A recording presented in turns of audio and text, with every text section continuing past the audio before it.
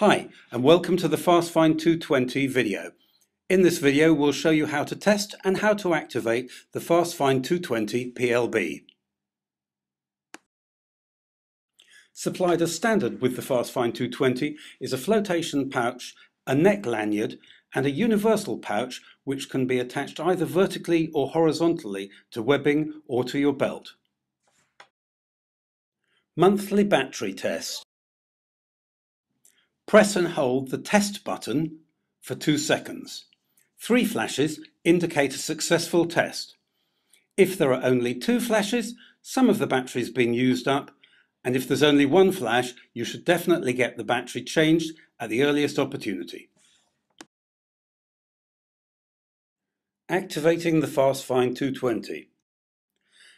Lift the red hinged puller on the top and pull hard to break the seal and remove the cap. Unfurl the antenna and press the on button. To turn off the FastFind 220, press and hold the off button. Keep the GPS antenna area clear. Orientation